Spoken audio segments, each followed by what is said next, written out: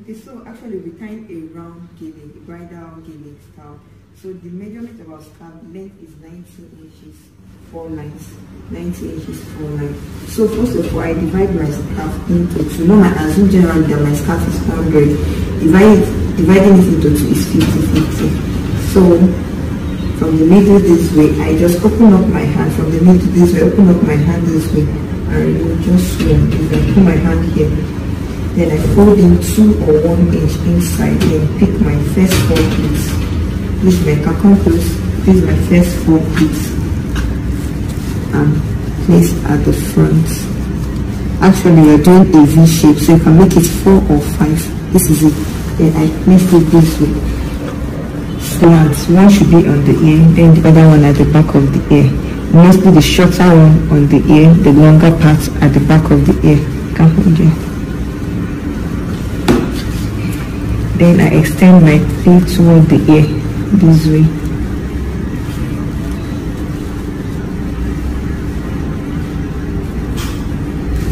Then I drop and press it. I'll try to make sure my, my pleats are uniform, kind of.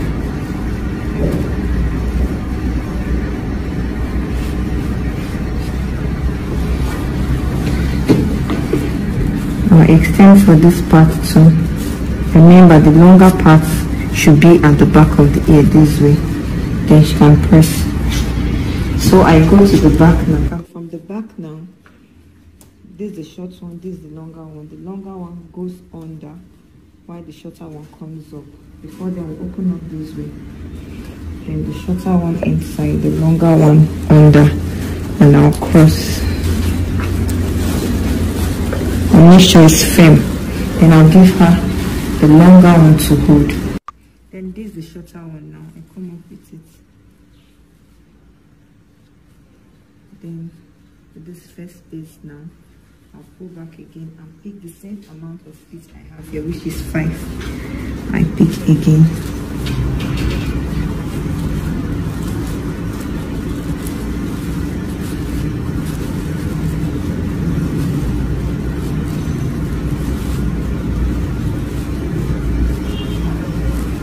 There's the fourth one and then there's the fifth plate. And you make sure that your viewpoint is at the middle this way. Now extend this one down to this part. Okay. I'm not going to use a pin, but I'll use this one now to lap on top of this part now. Now, then lap it directly on top of this one now. That's what's holding is very, very thin. So at this point now, I pick my first four plates. This is the first one, the second one, the third one, and the fourth one. Then I extend down to this part this way. The same stuff, I extend this down this way. Then she will press. This part as she's holding here very firm. You open up at the back. Before then, you can drag out here as much as possible you want. Drag out here. That's what will help you with the fan effect. This way. Then I pull to the front this way. So now, I want to tie. Are you doing it? Mm. So I want to tie now. This is the back. And then dragging out. So this the back. So I'll have a neat tie at the back. I twist neatly and drop here. Then I come with that one that she's holding and trace down the front to the back this way. Check this. To the back this way. Then I pick half of the scarf. Scarf is four line. I pick only just half of it so I can tie with it.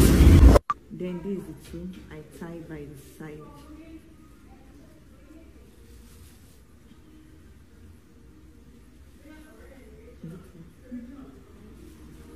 Sure it's tied, then you tie the second one. So just hold it firm. So that's the back. Then we'll go back to the front. So once you get to the front now, you start picking your pleats gently. whatever thing you pick from the middle that's what you extend here you extend same thing here too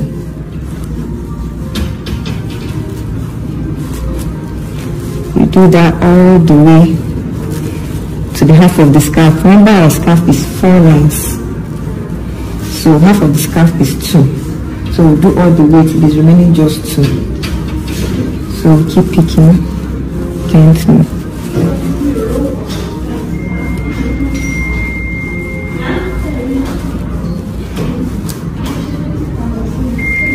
so keep picking. So now at this point we've gotten to the half of the scarf for us to achieve that our fan effect what you do now is to pick more than what you used to pick here and then lesser by this side so if I pick this side here I'll look for the lesser by this side look for the lesser too by this side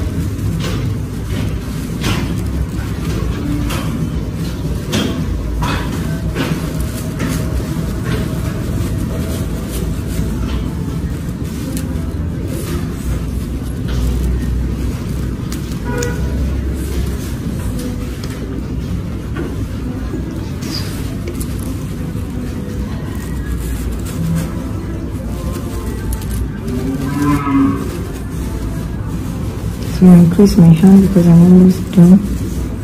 Then less of it this side so can get the fan effect. So less of it, less of what we have here. So less of it this way, you drop. Then there's the last one now. Then you look for less of it here. You drop. So we're done with the middle part this way. So when you come to this side now, you see we still have enough here for the fan effect. We're done with this side, you can gently arrange your pleat if it's looking rough. So at this point now we start our fan effect. At least four or five is okay for us. Make sure they're on top of each other, if not it's not going to stand.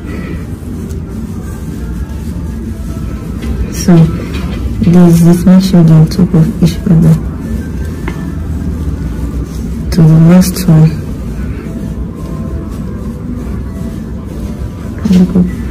So this is the fan effect. This way. Then come to this part now.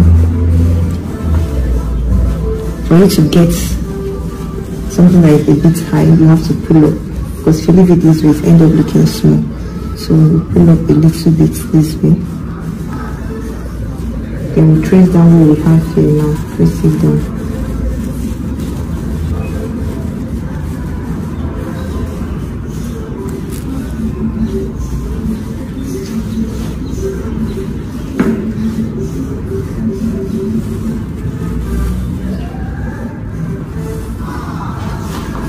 Pull up small to get my height I'll trace down I'm moving downward I'm picking everything I have here this side again.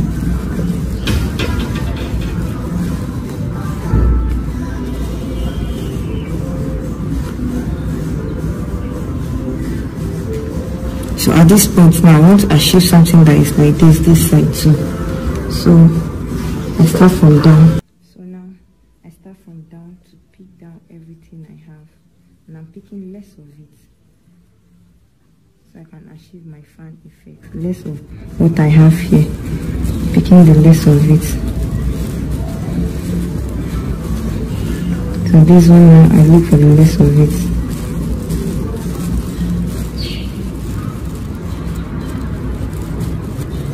This way. Then the last one too now I look for the less of it this is it. So I can have this remaining one because if I pick equal here I won't be able to achieve this here so I trace down making sure that they are tight to each other. So at this point now I'll start forming my my fan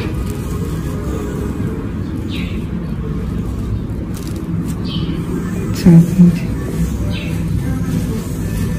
I start forming my fan. I have like four or three the other side so I'll make like four. This is one, two, three. make sure it's neat while tracing down.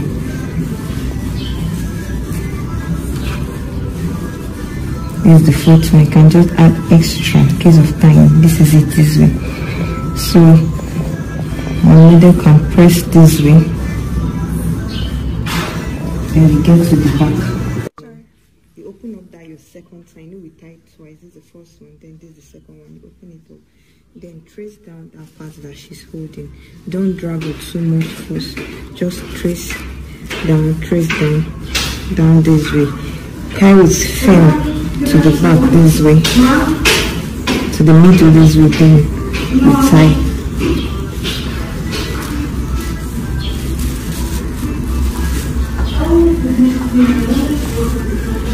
side this way.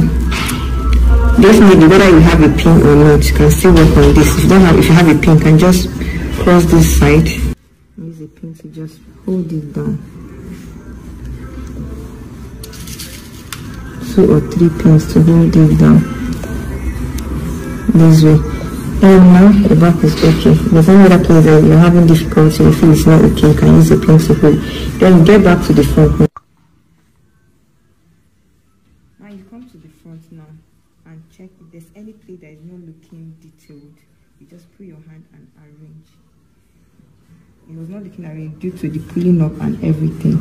So you arrange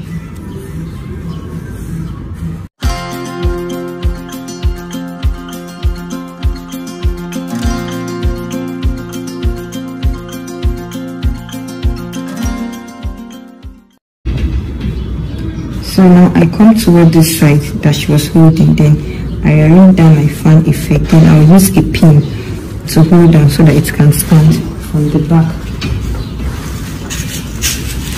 I use a pin just this way down so it can stand. I'll use a pin straight. Be careful so that you don't hurt your model or your client. So you can use two or thereabouts to just hold it firm this way. The same thing for the other side. If you feel it's not standing, you can hold down a pin here too. So that's that for the back.